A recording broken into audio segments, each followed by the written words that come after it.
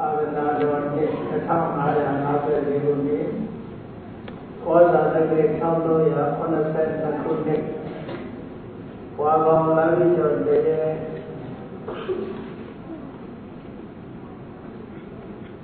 မန္တလေးတိုင်းပကံမြို့ပကံအပြည်ပြည်ဆိုင်ရာ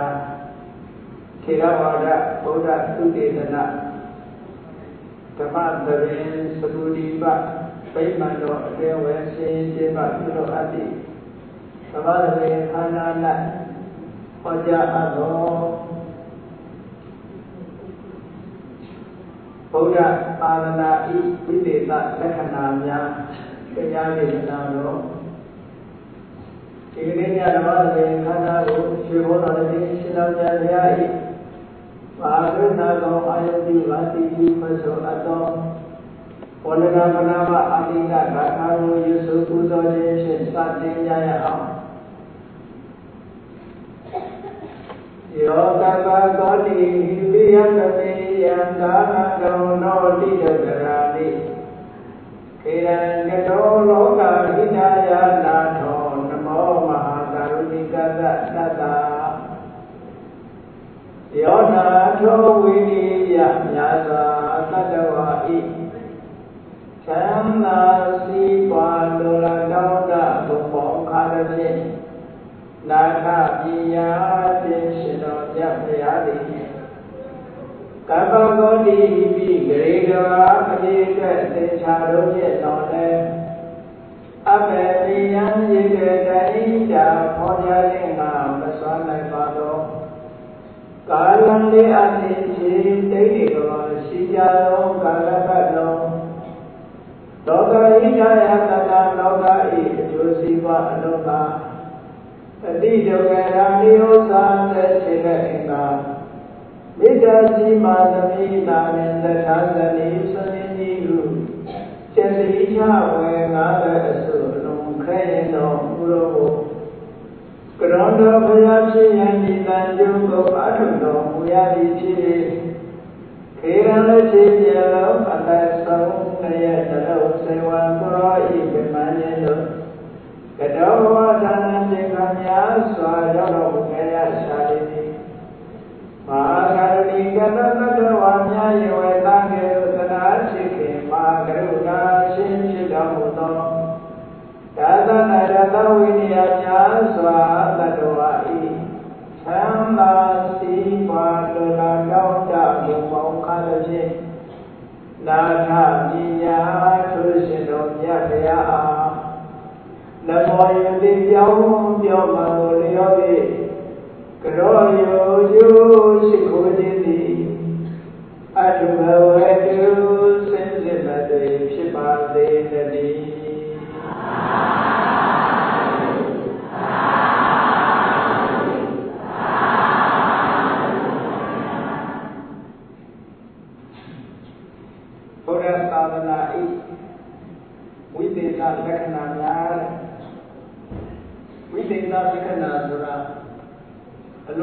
ထားတဲ့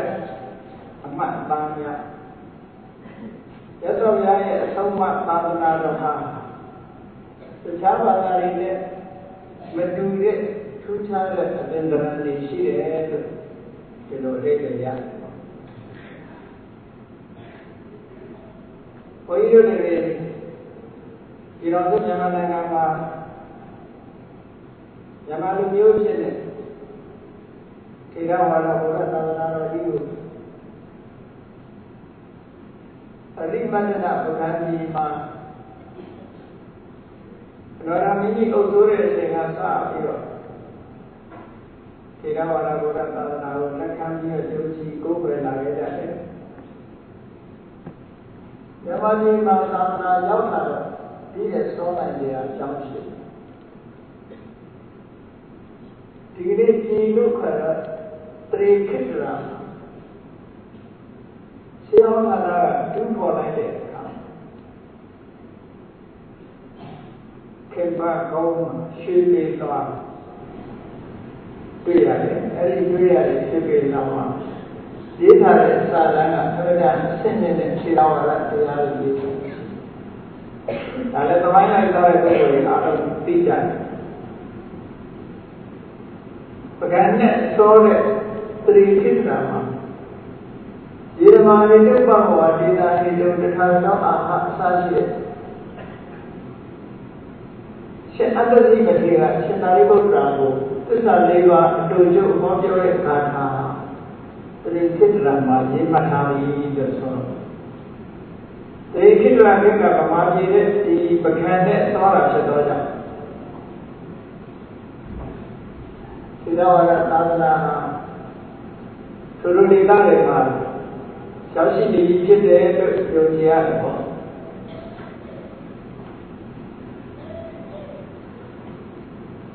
သို့တော်လည်းအနာဂတ်လက်နဲ့ရောက်တဲ့အခါကျတော့ရှင်အရဟံကောင်းဆောင်တဲ့ခြေတော်ရတာသာသူပုဂ္ဂိုလ်တို့ပုဂ္ဂိုလ်မြတ်တွေရဲ့အကျိုးစားအထောက်အကူကြောင့်ခြေတော်ရဘုရားသာသာတော်ဟာအခိုင်အမာယက်တိတာနေလောကရဲ့အနှစ်တစ်ခါမှပေါ်ပြန်ပြီးတော့ကြည့်လိုက်တယ်ဆိုလို့ရှိရင်ဟောဒီပကတိသအေရိယာတစ်ခုလုံးဘုရားရဲ့တရားတော်ရဲ့အလုံးတိုးတက်ခဲ့တယ်ပါဠိသင်ကြားမှုဆိုင်ရာညာတော်တိုးတက်ခဲ့တယ်ပဒံမင်းလက်ထက်မှာအပေါင်းဖြစ်တဲ့ကျစွာမင်းကြီးလက်ထက်မှာဆိုလို့ရှိရင်ကျစွာမင်းကြီးကိုယ်တိုင်ကလည်းယဟနာကများကိုစာတဲ့တဲ့တတိတော်တန်ကြီးမင်းသမီးကိုယ်တိုင်ကလည်းတန်ခါများကိုစာဝပို့ချတဲ့အတွက်ယဟနာပါရီနဲ့မကတို့ကြောင့်ဒီမှာစာပေလိုက်သားမှု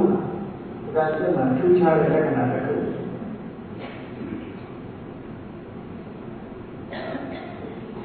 ဒီကနေ့ဖြစ်ပြောင်းမယ်ဆိုလို့ရှိရင်ပကံဒေသဆရာပထိုးတွေပေါ်တယ်လို့ဒီလိုပထိုးဒီညာနဲ့ဖြစ်လို့သမာအမြင်ကရုပ်စုတွေကြည့်ကြောင်းပြောရမယ်သို့တော့ရုပ်စုကမကဘူးပကံခေတ်မှာစာပေကျမ်းနဲ့လည်းညောင်များပေါ်ထွန်းခဲ့တာဆိုတာသိရတယ်ပါဠိစာပေသမိုင်းမှာသံဃာမင်းကြီးလက်ထက်ရေးတယ်လို့ပိုင်းမတန်းတွေကဆိုတဲ့သဏ္ဍာန်လေးကြီးဆိုတဲ့ကျမ်းကြီးမှာကဘာတော်ပါဠိဗရာကျမ်းကြီးဖြစ်ဖြစ်ဟောဒီပုဂ္ဂိုလ်တွေကရှင်အကပ္ပတိကာတို့အမိရတဲ့ကျမ်းကဆရာတော်ကကျမ်းကဆရာတော်ကရေးလာခဲ့တာပါဠိဘာသာနဲ့ရေးတာအတွဲသုံးမျိုးရှိတယ်သတုမာလာပဒမာလာသုဏမာလာလို့ဆိုပြီးတော့ခန္ဓာကြီး၃ရက်နဲ့ပရဏိတိကျမ်းကြီးဟာကမ္ဘာအမွေတဲ့လို့နေအဲဒီပကံတေရီရမှာပေါ်ထောင်းတယ်ဒါလည်းမကဘူးပကံတေသမရေးတဲ့ပါဠိစာကျမ်းလေးရှိသေးတယ်သမ္ပဒမထေရကြောကြားတဲ့ပတ္တမသောတိပါဒပထေဆိုတာအခုပကမနေကြတဲ့ပုဂ္ဂိုလ်တွေတော့သိတာသဗ္ဗတအစီဆိုတာရှိတယ်အဲဒီမှာသက္ကရမထေရေးခဲ့တဲ့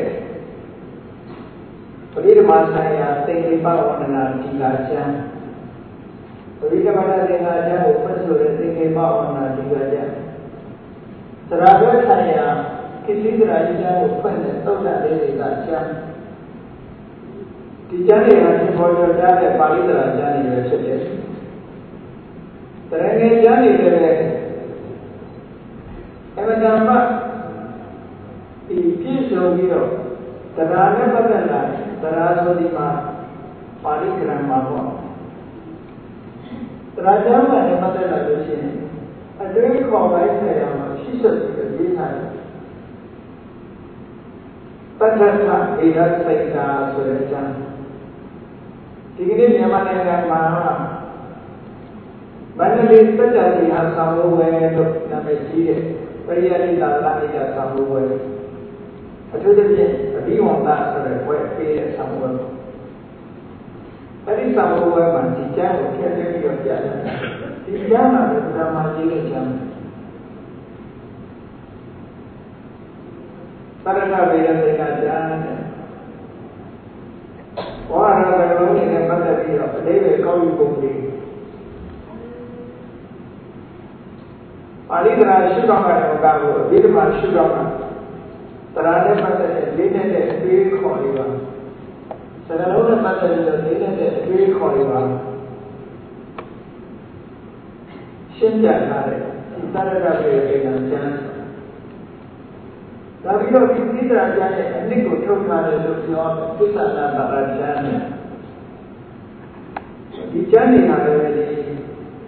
Pagayla ama boşa bir diyeceğini. Hadi tabi rolü la rekoburina. Pagayla ama boşa la diyeceğini. Yorumları yaşayın. Diyeceğini. Dari kan baru mau jadi ya, sebagai mana? Saya betul dah orang mau သာဝေဉာဏ်ကတက်ကတည်းကအမြဲတမ်းများတယ်ဘုရားပုဂ္ဂိုလ်ကသာမပုဂ္ဂိုလ်တွေကသင်ရတာသာဝေဉာဏ်ကနေကြတော့သာဝေလေးလာတဲ့ပုဂ္ဂိုလ်ကမှသာသိနိုင်တယ်ကျန်တဲ့ပုဂ္ဂိုလ်ကသိဘူးပေါ့အဲ့ဒါကြောင့်မလို့ဘုရားမထိုးတာပေါ်တာမဟုတ်ဘူးသာဝေဉာဏ်ကနေလည်းပေါ်တယ်လို့ဒီလိုပြောလို့ရတယ်အဲ့ဒါဘာလို့ဆိုလိုတာလဲဆိုတော့မြတ်စွာဘုရားရဲ့သာသနာတော်မှာပဏ္ဍာမသီတိကမှာရှင်ဝါကြီးရဲ့ပြီးတော့ပွင့်လင်းစီကားခဲ့တယ်အလုံးနဲ့သဘောပေါက်ကြတယ်လူမျိုးတစ်မျိုးရဲ့ဖွင့်ရိုးတိုးတက်မှုဆိုတာစာပေဖွင့်ရိုးတိုးတက်မှုကပါလာစီကွာဖွင့်ရိုးတိုးတက်ရုံနဲ့တိုင်းပြည်ကမဖွင့်ရိုးဘူးပညာလည်းဖွံ့ဖြိုးတိုးတက်ရစာပေဆိုင်ရာဖွံ့ဖြိုးတိုးတက်မှာလူမျိုးတစ်မျိုးဟာဖွံ့ဖြိုးတိုးတက်တယ်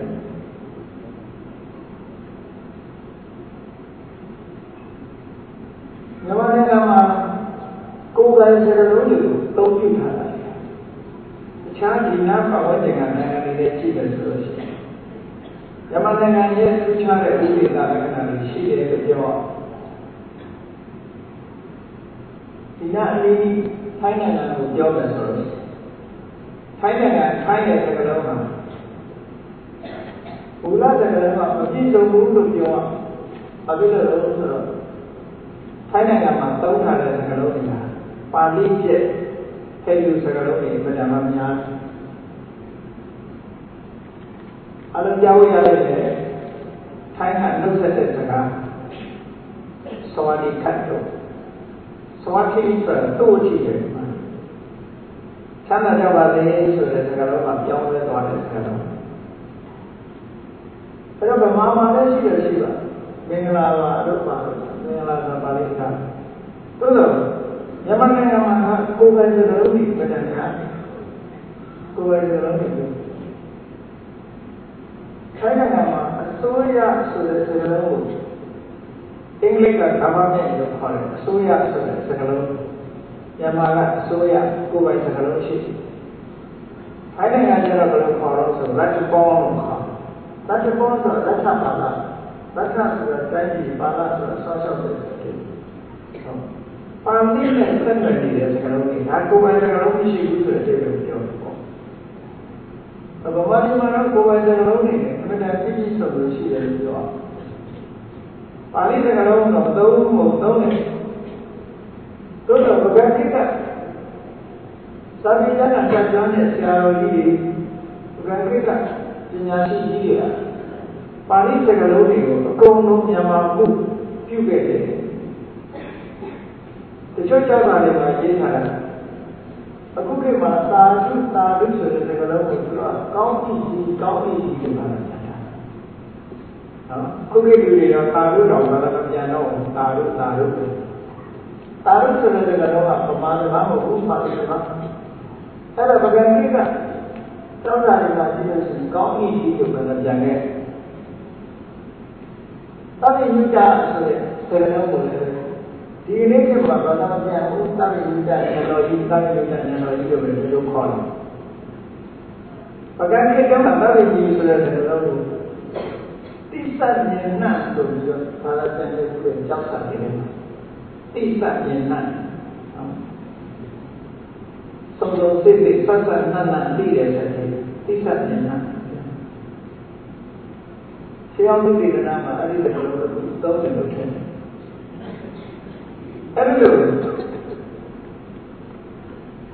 ဘုရားဘာသာနဲ့ပတ်သက်လာပြီးဘုရားရဲ့တရားတော်တွေနဲ့ပတ်သက်လာပြီး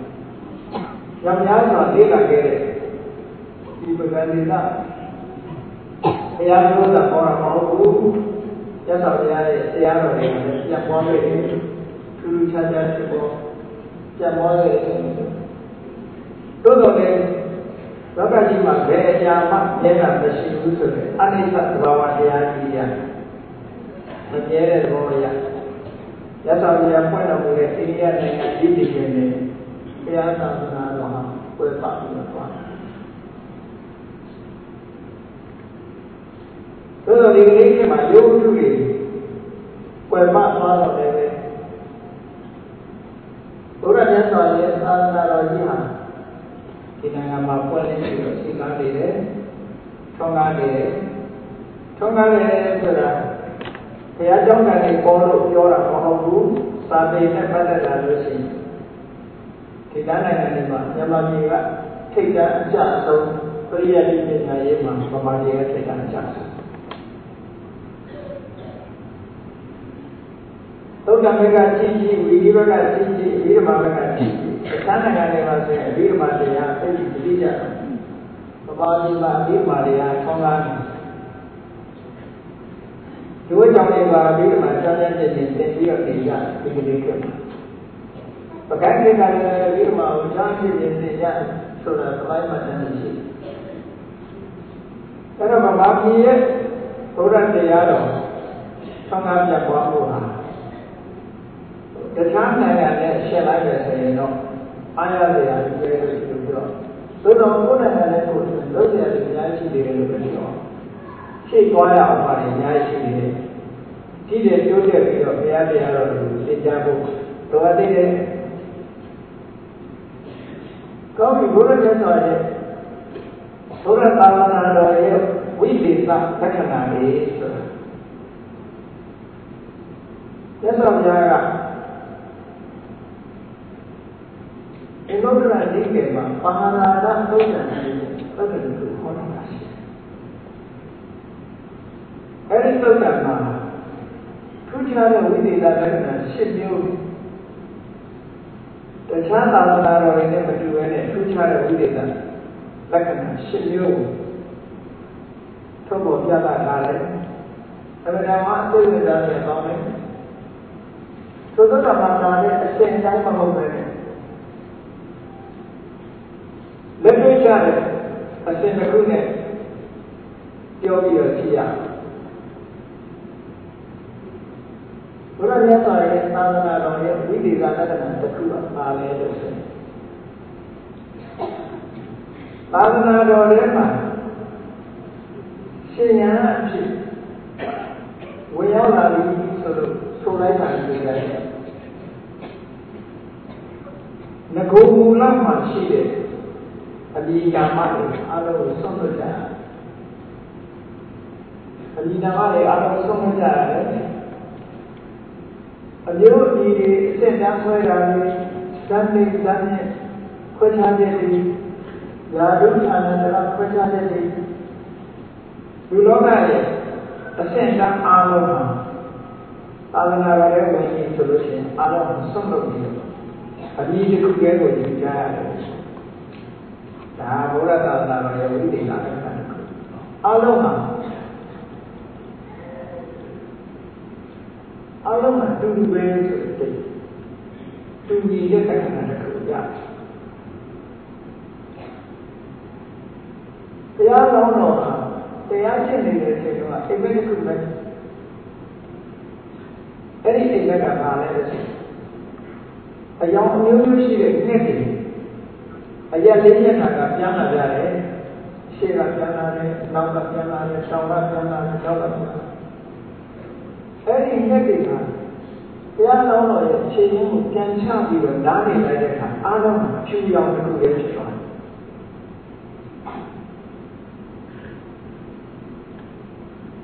တယ်အဲ့ဒါဘုရားမြတ်စွာသာသနာတော်ရဲ့သူချက်တဲ့ဝိသေသလက္ခဏာကိုပေါ်ပြဖို့ကျွတ်တယ်ပြီးတော့နမိတ်အိပ်ပဲအိပ်ပဲပေါ်လာသာသနာတော်ဝင်လိုက်တဲ့နေရာတွေလောကလူကြီးကန့်သတ်ထားတဲ့စိက္ခာတည်းအနိနာမတွေယာရုဌာဏတရတွေသူကြုံနေနေအလုံးရောက်ပါပြီတော့တကယ်ကြီးအသက်ဆန္ဒတစ်ခုတည်းမိသားစုတစ်ခုတည်း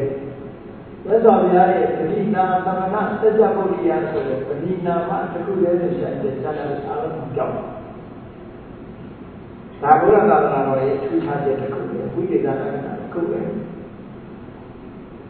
သာသနာဝရဏပြီးဆိုလိုက်တာလည်းအခုမြန်မာပြည်မှာလည်းကြောက်တယ်ဆိုလို့ရှိရင်သင်္ကန်းဝတ်ပြီးဘုန်းကြီးဝတ်လိုက်ပြီးဆိုလိုက်တာလည်းတိုင်းနဲ့လူတော်ကနာမည်ကိုစွန့်လွတ်လိုက်ရ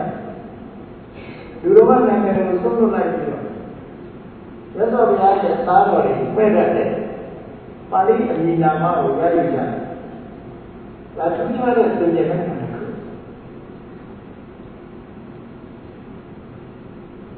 ချို့နိုင်ငံမှာဒီလိုမရှိဘူးပေါ့ဒါဘုရားသာသနာတော်ရဲ့အထူးခြားချက်ပဲ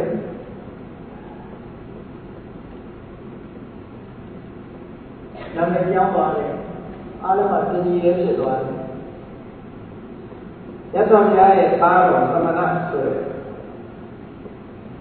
အခေါ်အောက်မှာအားလုံးရောက်ပြီးတော့ဒါမှသာသနာတော်ရဲ့အထူးခြားချက်တစ်ခုပဲဝိသေသလက္ခဏာတစ်ခုနောက်ပြီးနေတာလည်းကတစ်ခုကပါလဲလို့ဆိုဘ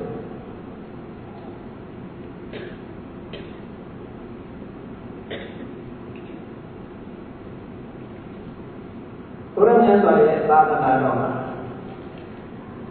ယဟန်ဖြစ်ဝင်ရောက်လာတဲ့ပုဂ္ဂိုလ်တွေပုဂ္ဂိုလ်တွေသစ္စာတရားဆုံးမဖြစ်ရတဲ့တရားတော်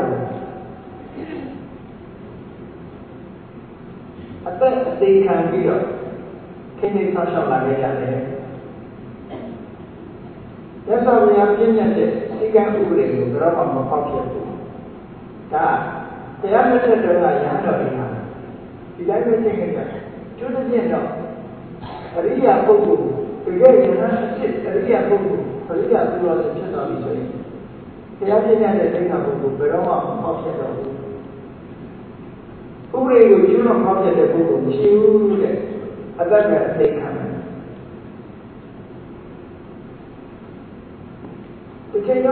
တိုင်းပဲစဉ်းစားရုပ်ကိုအထုံးလိုက်ကြတာဟာ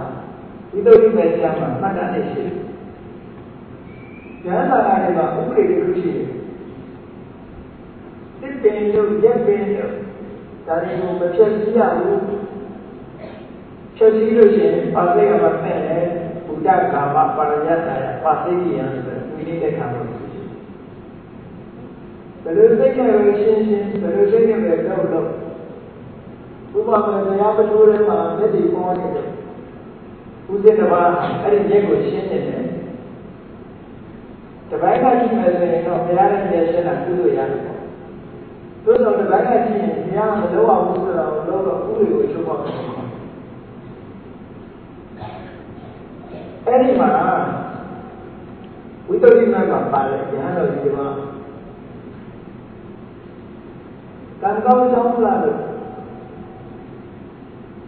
ကိုယ်ရည်ရည်ကမျိုးခံရပြီးတော့အဲ့ဒီလိုလိုဒီလိုလွယ်မင်းနဲ့လွယ်မင်းကဖြတ်ထားတဲ့လွယ်မင်းမဟုတ်ဘူးဒီမှာပေါက်နေတဲ့လွယ်မင်းနဲ့အဲ့ဒီလိုလိုဒီလိုချီထားတဲ့အဲ့ဒီလိုချီထားတဲ့အချိန်မှာတော်ပြီးလောင်လာတော်ပြီးလောင်တော့ရုပ်ဖြတ်ပြီးတော့သွားမယ်ဆိုရင်လည်းလွယ်မင်းကိုဖြတ်တာတရားရဲ့အမှုတွေကိုချုပ်ပေါက်ရအောင်ဒါကြောင့်မလို့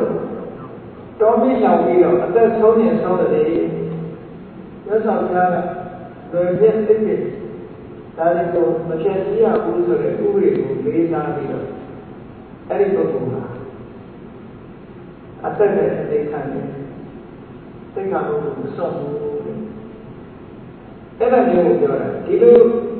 ဥပဒေကိုအသက်အတွက်အသက်အတွက်တောင်မှပဲဥပဒေကိုကျွလွန်ဖောက်ပြမှုမရှိဘူးဆိုတဲ့ပဒမယအမြင်လက္ခဏာတွေပါဘုရားမြတ်စွာဘုရားတော်မှာရှိရမှုဒါကထူးခြားတဲ့ဥပဒေလက္ခဏာတစ်ခုပဲမြတ်စွာဘုရားရဲ့ဒီလားတော်ကတွေဟာအသက်အသက်ကြောင့်မဖြစ်စေပြဉ္ညာသာလို့ဒီတိတ်ဟာလို့သမ္မတကလေးစားကြတယ်ကျွလွန်ဖောက်ပြမှုရှိရဘူးဒါအမြဲတမ်းကြီးမားတဲ့သူချတဲ့ဝိသေသလက္ခဏာတွေတစ်ခုပဲလို့ပြောတယ်။နောက်တစ်ခုကသစ္စာပြားရဲ့သာသနာတော်မှာအာလက်ရည်ရတော့ဆိုကိုကြီးတရားဆိုရည်ရကိုကြီးတရားမရှိဘူးဆိုရင်သာသနာတော်မှာရည်နိုင်စွာမရှိဘူး။ကိုကြီးတရားပြတ်ပြားသွားလို့ဆိုရင်သာသနာတော်မှာရည်ရမရဘူး။ဒါကြောင့်မလို့ Antara nama tilan sama agensi. Tilan ini senda utama sama. Untuk mari punya lone pertama. Tilan ini kan ada tanggalan lone senda utama. Jadi untuk tilan pertama agensi. Sehingga cara dia tilan agensi itu. Padi mau kan witore no အမေဝဇီဝိကံသဟေပညာတံလောကနာထေနသဗ္ဗေဇိနိကသံဝရံဒီကိကိုပါဠိဘောကသံဝရသီလလို့ဆိုတယ်အဲ့ဒါတန်ရင်းရတဲ့ကိုရှင်တရားတွေကိုသိသိသောက်သောက်ပြီးဆိုလို့ရှိရင်ရသော်များနေကြတော့ပြည့်ညတ်တော်မူခဲ့တဲ့သိက္ခာတော်ကိုအသက်ဆွန့်ရင်ဆွန့်ရတဲ့ဒီသိက္ခာတော်ကိုကျေးဇူးဆိုပြီးဒီလိုသိသိသောက်သောက်ဖြစ်တယ်တော့အဲ့ဒီသီလပြတ်သွားပြီဆိုလို့ရှိရင်တော့သာသနာမှာရရှိလို့မရတော့ဘူးသီလမရှိတဲ့ပုဂ္ဂိုလ်ကိုဒုတိလလို့ခေါ်တယ်ဒုတိလဆိုတာမကောင်းသောအချင်းရှိတာလို့ပြောတယ်မဟုတ်ဘူးဒုတိလဆိုတာသီလမရှိဘူးလို့ပြောတယ်အကျင့်တရားတွေပြည့်စုံသွားတယ်ကိုကျင့်သီလတော့မရှိတော့တဲ့ပုဂ္ဂိုလ်ကိုဒုတိလအဲ့ဒီဒုတိလပုဂ္ဂိုလ်ဟာသာသနာတော်ထဲမှာယက်တိပဲမရှိဘူးယက်တိပဲမရှိဘူးအကယ်၍လူမသိလူမသိသာသနာတော်မှာသူယက်တိနေတော့လေသူဟာအလိုလျောက်စိမ့်ပယ်ရဖြစ်နေတယ်အလိုလျောက်စိမ့်ပယ်ရဖြစ်တယ်အော်တိုမက်တစ်အော်တိုမက်တစ်ပုဂ္ဂိုလ်ဟာဒီအပေါင်းအသင်းပယ်ရဖြစ်သွားတယ်ဒါကြောင့်မလို့ယုတ်တိသာပုဂ္ဂိုလ်ဟာလောကဆင်းရဲမဝင်ဘူးတဲ့သာသနာဒါလည်းပဲဘုရားရှင်တော်သာသနာရဲ့ထူးခြားတဲ့ဝိသေကလက္ခဏာတစ်ခုပဲအလိုလိုကိုချင်းပြပြသွားတာတဲ့ကြတဲ့သာသနာရဲ့အပြစ်ရောက်သွားပြီဖြစ်လို့ဘာမှမပြောသာသနာတော်ရဲ့သူများရဲ့ဝိသေသလက္ခဏာတွေကိုရှင်းပြတဲ့အခါပင်လယ်ကြီးရဲ့ဥပမာပေးပြီးတော့ဟောတာပင်လယ်ရဲ့ဥပမာပေးဟောတာ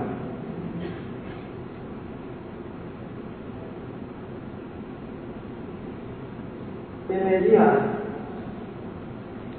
ချောင်းတွေကြောင်းတွေမြစ်တွေ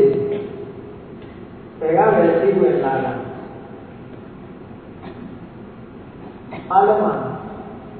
ယ်နဲ့ရောက်သွားပြီချင်းဒီဟာတပြိုးရဲ့ပဲဖြစ်သွားတာအဲ့ဒါဆိုသာသနာတော်ဟာဘယ်မျိုးမှပဲဆက်ခဲ့လာခဲ့ဘယ်အတိုင်းမှပဲဆက်ခဲ့လာခဲ့ဘယ်စင်တန်းမှပဲဆက်ခဲ့လာခဲ့သာသနာတော်ရောက်ရင်အားလုံးဟာပြည့်စုံရဖြစ်သွားတယ်သင်္ကေတအလားတူဆိုတဲ့ဒီပြော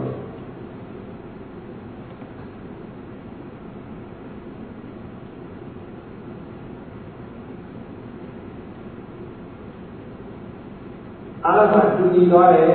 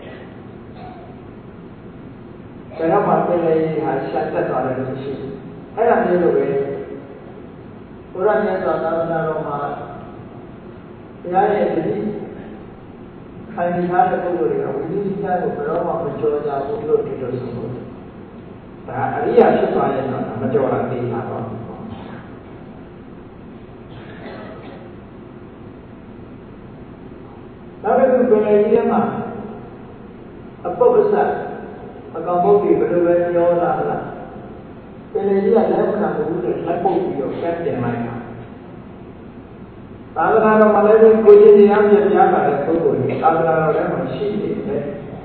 သာသနာတော်ကအလို့တွေတော့ဖယ်ရှားမိတာရှိတယ်ဟောဒီသင်ပြန်လက္ခဏာ၃မျိုးဘုရားရပါတဲ့ဝိသေသလက္ခဏာတွေပဲသာသနာရဲ့ဝိသေသလက္ခဏာကောင်းပြီနောက်ဝိသေသလက္ခဏာတစ်ခုကပါတော့ဆိုလို့သာသနာတော်ဝင်လာပြီဝင်လာပြီမလုပ်တယ်ဆိုလို့ရှိရင်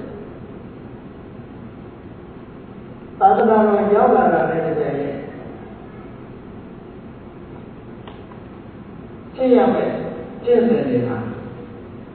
တဖြည်းဖြည်းချင်းလက်ဆိုင်ပြီးတော့ပထမစတင်ကျင့်ရတဲ့အကျင့်တွေကတွဲတယ်နောက်ဒုတိယဆက်ကျင့်ရတာကြတဖြည်းဖြည်းလက်လဲလာတယ်တတိယတစ်ပြေးပြေးနဲ့လဲလာစက်ကတစ်ပြေးပြေးနဲ့လဲလာကိုယ်တိုင်ကြီးတွေရောက်တဲ့ပုံစံကြီးတွေဘယ်နဲ့သာသာကရှင်းသွားရင်သင်္ကေတလေးပဲ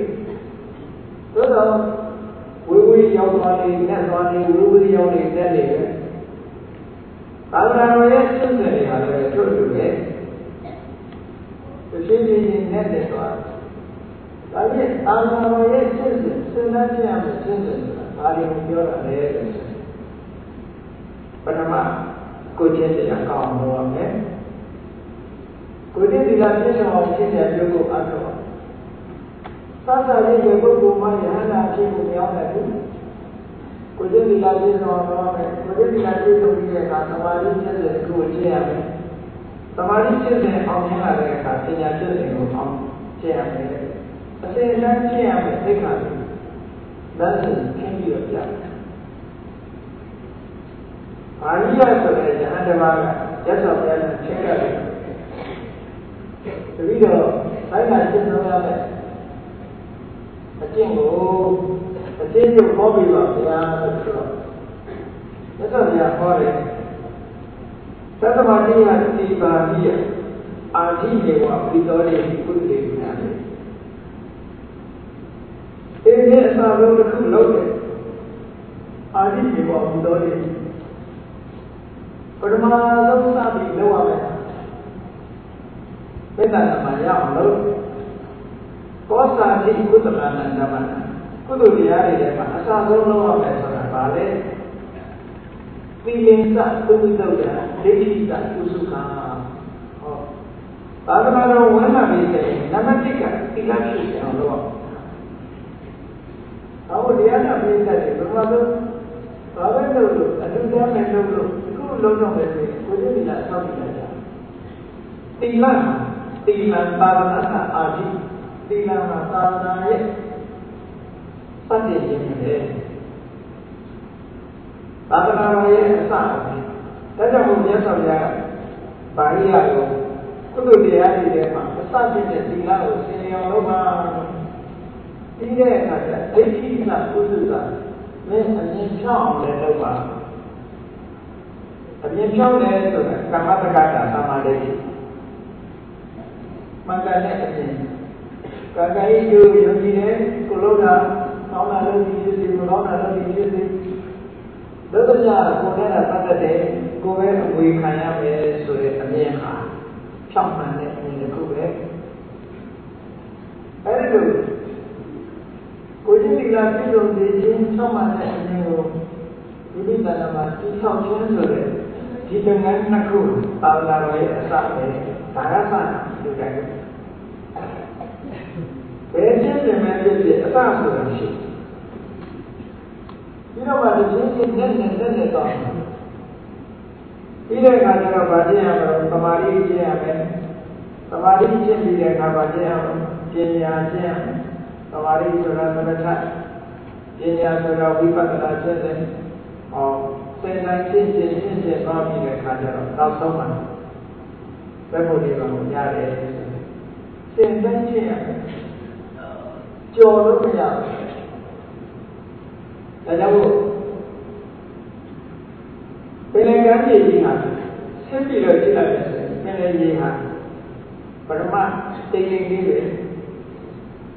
ဘုံတော်ဝူသွားလိုက်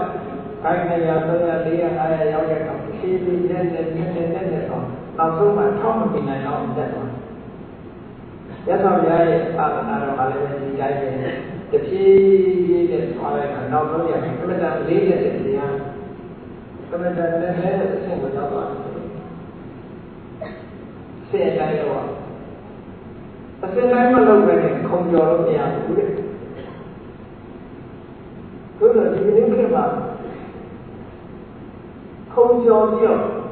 သောတာပန်ဖြစ်တာလို့သရဏဖြစ်တာအနာဂါညာနာဖြစ်တာတမန်ကြီးတွေပေါ်ပေါက်တယ်ဖြစ်လောကရဲ့နှစ်နှစ်ကစင်္ကာပူကိုသွားတော့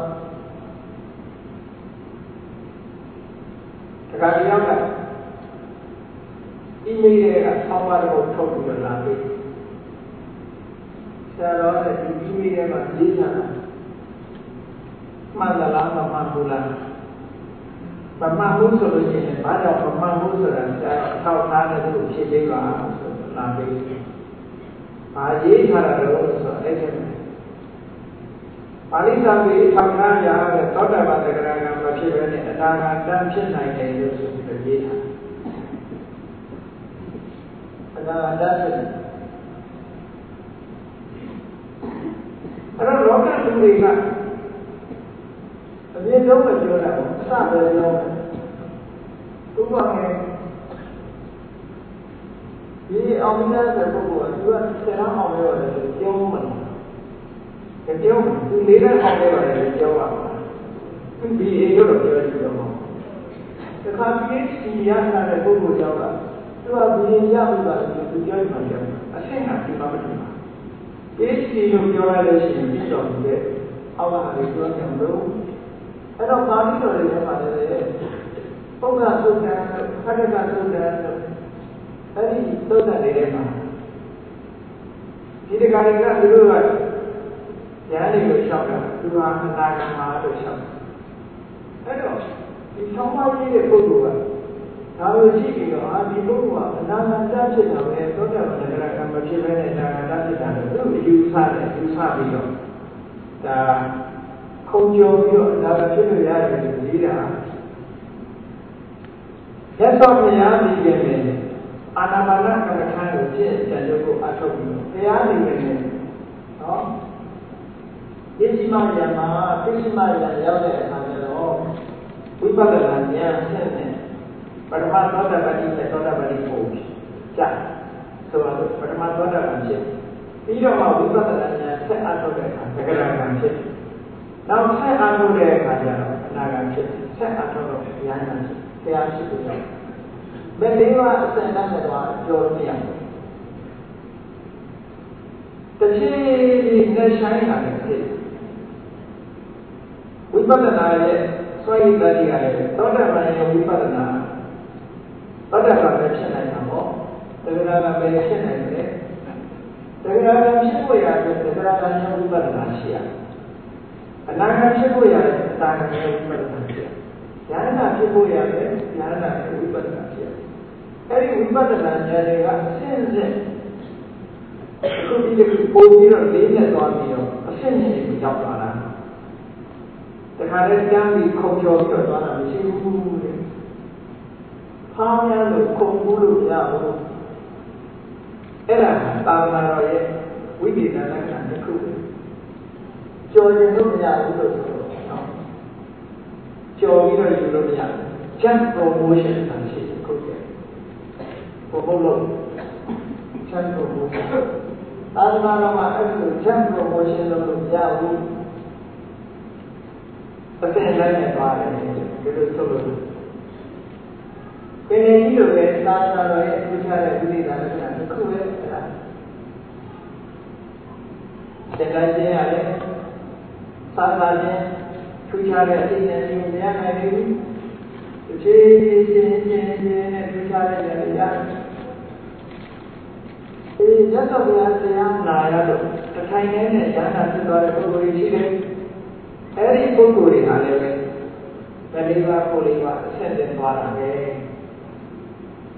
သူတို့ရဲ့စွမ်းရည်တတိတွေကအမှန်တရားချက်လုံးလို့ထိုင်နေတဲ့ရဟန္တာဖြစ်တော်တယ်လို့ပြောတာပညာဖို့ကြောင့်ပြောတာသို့တော့ခုံကျော်ပြီးတော့ရဟန္တာဖြစ်တော်တာမဟုတ်ဘူးလို့ပြောမှာအပညာဆိုတာဘုရားမှနည်းညာတယ်ခုပြောပြီထူးခြားတဲ့အပညာပါမနဲ့မတူဘူးတခါတည်းရကြတော့အကြာကြီးဖြစ်နေရတာရှိတယ်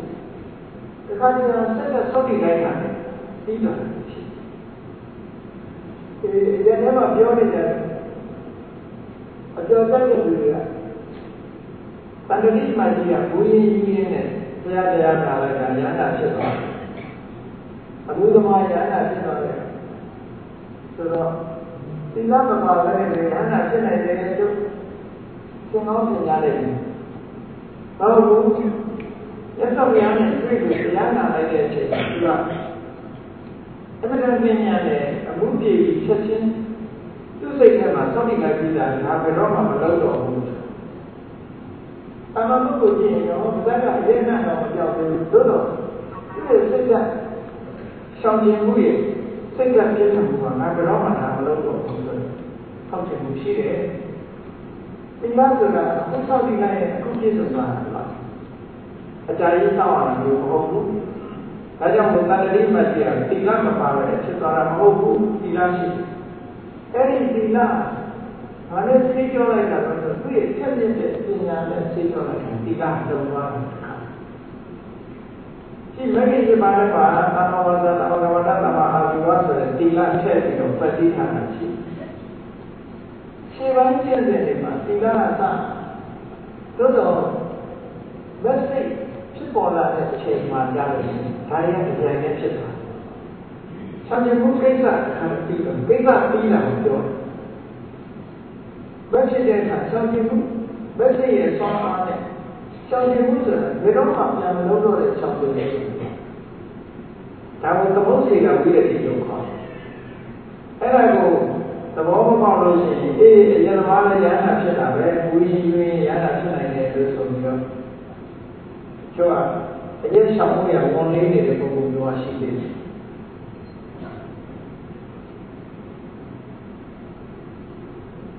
အဝဒံသူချတဲ့အဋ္ဌညာရှိတဲ့ပုဂ္ဂိုလ်တွေမှာဒါမျိုးအဖြစ်တာသီလပရိဒေါတာပညာနဲ့ပညာကိုသီလနဲ့ဆင်ကြောရတဲ့ပုဂ္ဂိုလ်ရှိတယ်ပညာပရိဒေါတာသီလသီလကိုပညာနဲ့ဆင်ကြောရတာရှိတယ်အဲ့ဒီနှစ်ခုပါသီလနဲ့ပညာဒီနှစ်ခုပါတစ်ခုနဲ့တစ်ခုအပြန်အလှန်သုံးတယ်ဆက်ချောပါသီလမပါပဲပညာမဖြစ်ဘူးပညာမပါပဲသီလမဖြစ်ဘူးဒီလိုဆိုအရေးကြီးတော့ဒီကနေ့တက်ကုန်ဒါကြောင့်မြတ်စွာဘုရားရဲ့သာသနာတော်ရဲ့ထူးခြားတဲ့ဝိသေသလက္ခဏာရှင်းစဉ်တစ်ခုကိုပြည့်ပြီးဆိုလို့ရှိရင်အဲ့ဒီပြည့်စဉ်မှာအပင်တိုင်းသွားတဲ့ရှင်းစဉ်နဲ့ဖြစ်တယ်ခုံကြော်ပြီးတော့ဉာဏ်ဖြစ်တာမျိုးသိဘူးခြားတဲ့စိတ်ဉာဏ်ရတာလည်းအဖြစ်အပျက်နဲ့လေးလက်ပြီးတော့သွားတာပဲရှိတယ်။ပင်လေကြီးနဲ့အလားတူတူရဲ့သာဝိသေနာလက္ခဏာတစ်မျိုးကိုပေါ်ပြတယ်။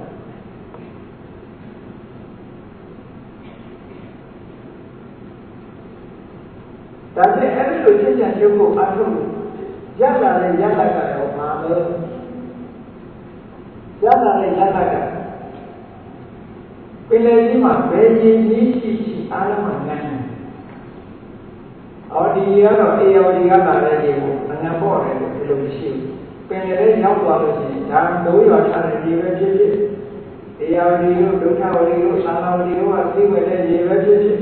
ဖြစ်ပင်လယ်ထဲရောက်လာရင်ရေကဘုရားကတစ်ခုလေးပဲဖြစ်သွားတယ်ငန်းနေရတာအဲ့ဒါလိုပဲသာသနာတော်ရဲ့ကိစ္စအောင်မြင်ပြီးဆုံးသွားတဲ့ကြတဲ့ဒါလည်းရလာတာတစ်ခုလေးလေးပါလဲဆိုဝိသုဒ္ဓိလွတ်ပါတယ်အာရိကလွတ်သွားတယ်ဆိုတွေ့တာမှုတွေလွတ်သွားစိတ်ကလေးမှာတွေ့တာမှုဆိုတာမရှိတော့အဲ့ဒါကိုပြုတ်ထွက်သွားဘယ်ဘုံမှမတွေ့တော့ဒီလျောသာလည်းမတွေ့ဘူးသာသမီလည်းမတွေ့ဘူးဣသေသင်္ကားလည်းမတွေ့ဘူးနောက်ဆုံးဒုက္ခနဲ့ကိုယ်လည်းမတွေ့တော့ဘယ်ဘုံမှမတွေ့ဘဲနဲ့စိတ်ကလေးကဆက်ရပါလောကစဉ်းစားကြည့်လူတွေကတောကနဲ့နေကြတာဘာကြောင့်လဲဆိုတွဲနေလို့တွဲတဲ့နေရာတောကဖြစ်တာပဲမတွဲရင်တောကမှာမဖြစ်တာကြည့်လေကိုယ့်ကိုယ်ပဲစဉ်းစားကြည့်ပေါ့ဘယ်မှာတောကရှိတယ်ကိုယ်တောကဘယ်မှာရှိတယ်ကိုယ်နဲ့ပတ်သက်တဲ့ဒီမှာတောကရှိတာကိုယ်နဲ့မပတ်သက်တောကမရှိဘူးပတ်သက်တဲ့ဆိုရင်ဒေတာမှုရှိမှတောကဖြစ်တာတွေ့တာမှုမရှိရင်တော့တာမဖြစ်ဘူးအဲ့ဒီတွေ့တာမှုအားလုံးကလက်ဆက်သွားတာ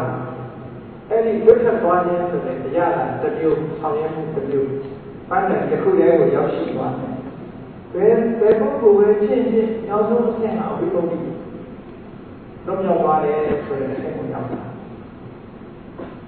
နဲ့သာသနာတော်ရဲ့ဝိသေသလက္ခဏာတစ်ခုလည်းဆိုတော့ထူးခြားတဲ့ဝိသေသလက္ခဏာတစ်ခုပဲလို့ဆို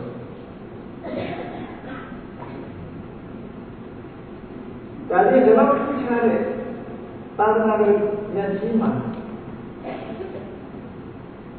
အာရိပိုင်ဆိုင်ဝိရှိတယ်ခုနကလိုပြည့်စုံမှုဖြစ်သွားတဲ့ပုဂ္ဂိုလ်တရားအာရိပိုင်ဆိုင်ဝိရှိတယ်ပြဒမှုတော်မရှိဘူးဒါပေမဲ့တရားလိုက်တဲ့အတ္တပါရယနာတွေကအာရိပိုင်ပင်လယ်ထဲမှာယန္တာတွေကြောင့်များစွာရှိတယ်လို့သာသနာတော်ထဲမှာလည်းယန္တာတွေကြောင့်များစွာရှိတယ်။အဲဒီယန္တာတွေကအားလဲဆိုရင်ဘောရိပတိယတရား39ပါး။ဘောရိပတိယတရား39ပါးကိုသင်ချုံလိုက်တယ်ဆိုရင်ဘယ်လိုရှိပါ့မလဲ။ဘယ်လိုရှိပါ့မလဲ။ထပ်သင်ချုံလိုက်တယ်ဆိုရင်သီလသမာဓိသင်္ခါတော့ပါ။အဲဒီကျမှဗောဓိပတိယတရား39ပါး39ပါးကိုရည်ရွယ်တဲ့အခါကျဓမ္မတိကသတိပဋ္ဌာန်၄ပါးသတိပဋ္ဌာန်၄ပါးဆိုတာဘယ်ကလာပါမပတိဆိုတဲ့ဘက်ကရှိပါတယ်ပါမပတိဆိုပန်းကတော့အမှတ်ရတယ်ပန်းကတော့အမှတ်ရတယ်ဆိုတာဘယ်လိုမှတ်ရလဲလို့ဆိုရင်ကာယဝေဒနာစိတ်ဓာတ်ဓမ္မလို့ဆိုတယ်ဒီတတိယအာယုဖြစ်တဲ့ကာယဝေဒနာစိတ်ကြဓမ္မဒီလေးမျိုးပေါ်မှာမှတ်ရတယ်ဒါတော့တတိယ၄ပါးတော့ပါကာယသုပတနာတတိယဝေဒနာသုပတနာတတိယတတိစိတ်ကြသုပတနာတတိဓမ္မသုပတနာတတိဟောတတိပဋ္ဌာနာစွမ်းမြဲစွာတည်တဲ့တတိကိုပฏิပဋ္ဌာနာလို့ခေါ်တယ်အဲ့ဒီတတိခန္ဓာ၄ခုတခါသမာဝါယာမကိုဖြတ်လိုက်တယ်သမပဒံ၄ပါးတဲ့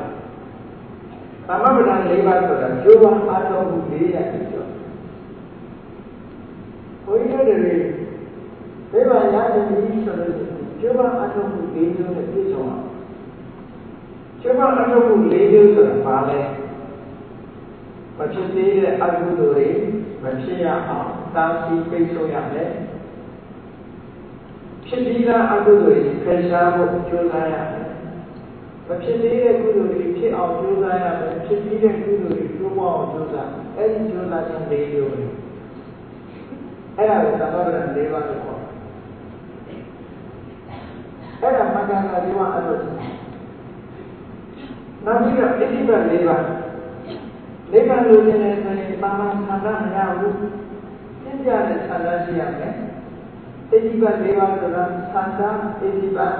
ဝိရိယအဋ္ဌိပတ်စိတ်ဓာတ်အဋ္ဌိပတ်ဝိမာနအဋ္ဌိပတ်သံဃာဝိရိယစိတ်ဓာတ်ဝိမာနသံဃာကလည်းသက်ဆိုင်ရမယ်ကျုပ်ကအထုမှုကလည်းသက်ဆိုင်ရမယ်စိတ်ဓာတ်ကလည်းခိုင်မာရမယ်အသိဉာဏ်လည်းခိုင်မာရမယ်ဟောအဲ့ဒါအဋ္ဌိပတ်၄ပါးလို့ဒါသာသနာမှာရှိတဲ့ဒီကိအနစ်သာယတနာတွေပဲနှစ်သက်ပြန်ကောင်းတယ်အကြည့်ချင်းတွေပဲလို့ဆိုယတနာဆိုတာနှစ်သက်ပြန်အကြည့်ချင်းပါပါပုဂ္ဂိုလ်တွေရတဲ့ပုဂ္ဂိုလ်တွေနောက်ဣတရီ၅ပါးဣတရီ၅ပါးဆိုတာတခြားပြောတာမဟုတ်ဘူးပတ္တာဝိရိယသတိသမာဓိပညာပရာတိယနဲ့သတ္တယနဲ့သိနေစီရမယ်ဒီရဒီမှာအလုံးသိစီရမယ်သမာဓိသိသိသိစီရမယ်ပညာပိုင်ပိုင်ခြားခြားပြီးရဲ့အသိပညာလည်းရှိရမယ်အဲ့ဒီအင်္ဂလိပ်၅ပါးကိုပဲတစ်ခါဗလာဆိုတဲ့စကားလုံးနဲ့တွဲပြီးတော့ဘိုး၅ပါးဘိုးဆိုတာတဏ္ဍာခိုင်ရတဲ့စိုင်းတက်ရှိတာဗလာတင်အားပါ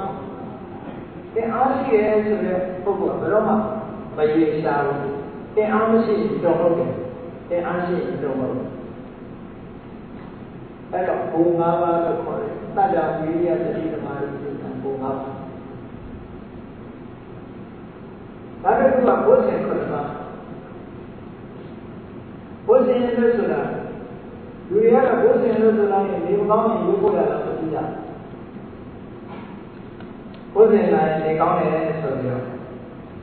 ဝိသေဆိုတဲ့နေရာက body အင်္ဂါအသိဉာဏ်အတွက်အရေးကြီးတဲ့အထောက်အကူပြုဆိုလို့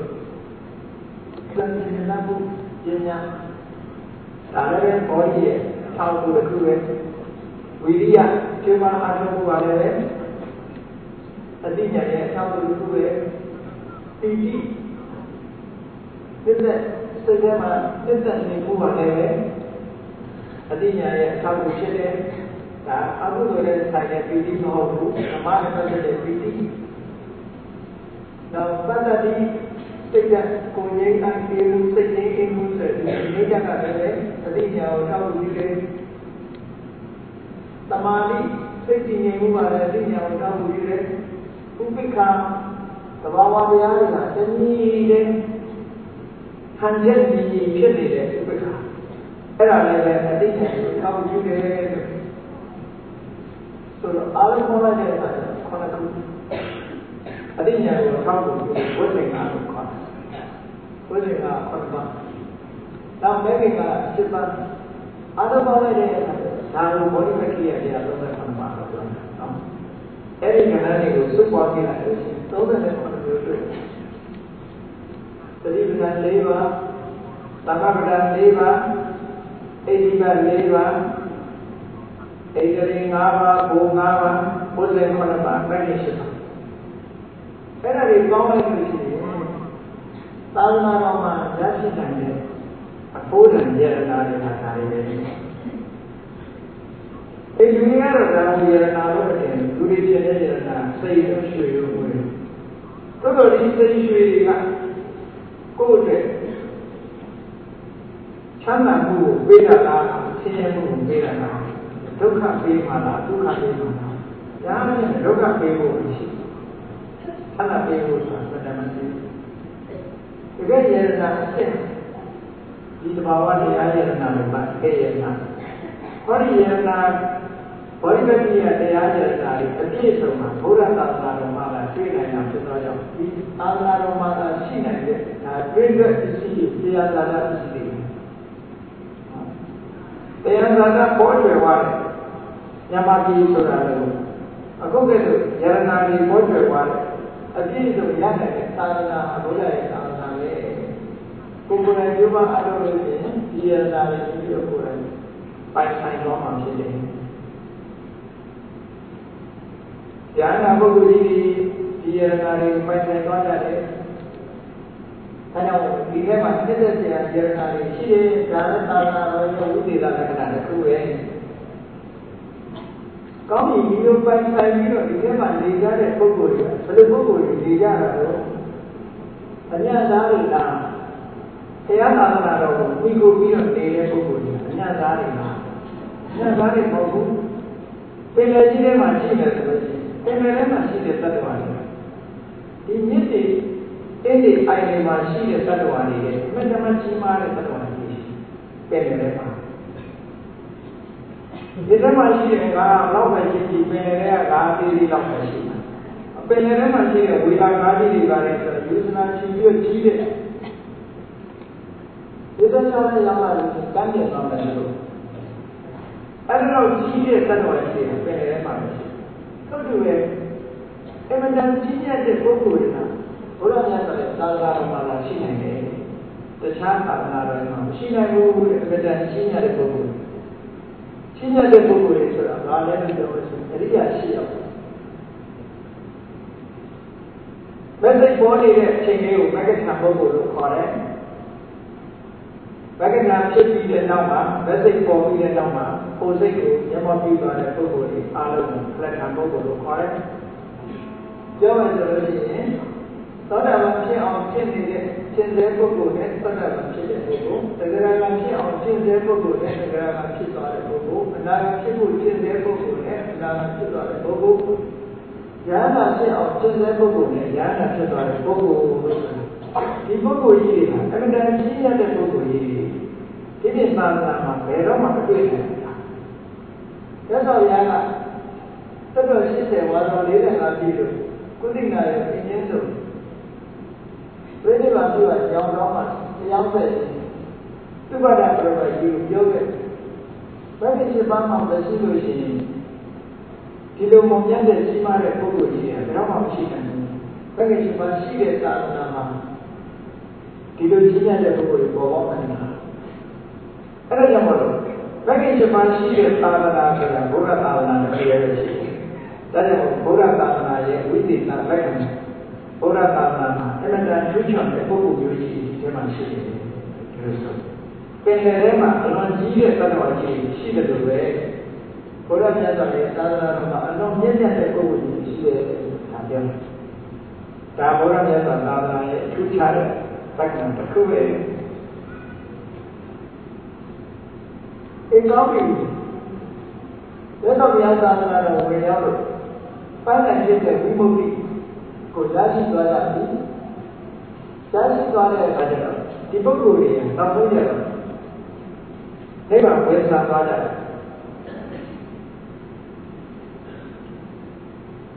ဘုရားအဆုပွင့်တော်မူတိုင်းမှာကလေးကြီးပြီးတော့သတ်တော်ကိုကျွတ်တိုင်းဝင်ကြဘုရားဝါဒနဲ့ဒီမှာပွင့်တော်မူတိုင်းကြတယ်ဘုရားကြီးပွင့်တော်ကလေးကြီးပြီးတော့ကျွတ်တိုင်းဝင်ကြတယ်အဲ့လိုဆိုလို့ရှိရင်ဒီကလေးရှိပြီးတော့ကျွတ်တောင်းဝင်ဘုရားဆိုလိုတာလည်းအမှန်တရားအဲ့တော့ကျွတ်တောင်းဝင်သွားတဲ့ပုဂ္ဂိုလ်တွေကအရင်အတွက်မရှိတော့အလွန်များနေပြီပဲတော့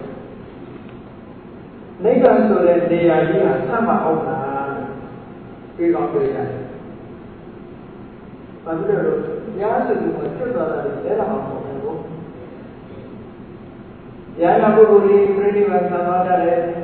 သိက္ခာပုဒ်တွေပြိဋိဘာသာရတယ်သင်္ဃဝတိသတ္တမကဘုရားဟောကြားတဲ့တရားတွေပြိဋိဘာသာသွားကြတယ်အဲဒီလိုပြိဋိဘာသာမွေရာလိမ္မာရှိရတယ်ဒီပုဂ္ဂိုလ်တွေနဲ့ပြည့်ပြီးတော့နောက်ထပ်လက်မခံနိုင်တော့အောင်ပြန်ဖြစ်သွားနိုင်ဘူးလားဒါလည်းသူချတဲ့လက္ခဏာတစ်ခုပဲပင်လေကြီးမှာကြီးဘလောက်ပဲမိုးတွေရွာရွာဘိုးကောင်းကင်ဘဝကြီးဒီကောင်းကြီးဘလောက်ပဲကြာကြာဒီချောင်းအင်းအိုင်ကရေကလက်ရှင်ထဲမှာကြက်တလဟောစီးဝင်ပင်လေကြီးကကမ်းရှန်တက်သွားပြီးပင်လေကြီးကြီးသွားတယ်ကမ်းကုန်တော့တက်သွားတယ်ဘယ်တော့မှမရှိဘူးတဲ့အဲ့ဒါလိုမရှိရလို့ပဲမိမပြိဋိဘံသာမန်ပုဂ္ဂိုလ်ကြီးများလို့နိဗ္ဗာန်ကြီးပြည့်သွားပြီပြိဋိဘံသံဃာပုဂ္ဂိုလ်မရှိလို့ဘုရားမပွင့်လို့တုံညာကဘာနဲ့ကြောင့်နိဗ္ဗာန်မှာဘယ်သူမှမရှိပြစ်ချောက်ချောက်ကြီးနော်နိဗ္ဗာန်ထဲမှာဝင်လာတဲ့ပုဂ္ဂိုလ်မရှိလို့ဘယ်သူမှမရှိဘူးဒီလိုမရှိဘူးတဲ့အဲ့တော့လျော့တယ်ဆိုတာလည်းမရှိဘူးပြည့်တယ်ဆိုတာလည်းမရှိဘူးဒါလည်းလျော့ရင်းပြည့်မရှိဘူးဆိုတာအားလည်းဘုရားမြတ်စွာသာသနာရဲ့ပြထားတဲ့ဝိသေသလက္ခဏာတစ်ခုပါဒီလိုမြတ်စွာဘုရားရဲ့ကိုရောကြကမဟာရသုတ်တံမှာအဘွယ်ရှိဖြာသာသနာဆိုတဲ့အနေနဲ့ဟောတာအဘွယ်ရှိဖြာသာသနာအောဝေလာနေတဲ့မြတ်စွာဘုရားကအစ္စရိယအဘုဒ္ဓဆိုပြီးတော့ဟောတာဘုန်းကြီးတွေကဘုရားမြတ်စွာသာသနာရဲ့ဝိသေသလက္ခဏာများလို့ဆိုပြီးလက်တွေ့ကြတဲ့အစီအစဉ်တစ်မျိုးနဲ့ဒီအဝရှိရသာသနာကိုအခုလိုရှင်းပြရခြင်းဖြစ်တယ်။ပြန်ပြီးတော့ကြောက်လိုက်တယ်ဆိုလို့ရှိရင်ရသော်ဘုရားသာသနာတော်ပင်လယ်ကြီးနဲ့သာသနာတူတယ်ပင်လယ်ကြီးနဲ့သာသနာတူတယ်။သာသနာတော်ဝင်လိုက်တာလည်းတရားရဲ့အာရုံတစ်ကြီးလေးဖြစ်သွားတယ်အာဂါရဝင်လိုက်တာနဲ့ကြိုင်နဲ့အကုန်လုံးတက်ကြည့်ရဖြစ်သွားတယ်။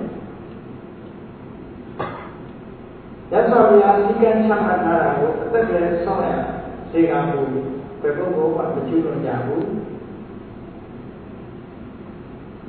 ကျွလွန်ဖို့ပြလို့ကိုချင်းတီလာကင်းနေပြီဆိုလို့ရှိရင်လည်းသာသနာတော်ရဲ့အကျင့်ကိုရောက်ပါတယ်။သာသနာတော်ရဲ့အကျင့်တွေဟာလည်းအစဉ်အတိုင်းရှင်းရတယ်